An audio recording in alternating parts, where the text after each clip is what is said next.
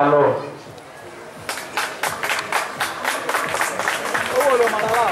nous avons premier conseiller, Monsieur Kézié Kapoin Pacha.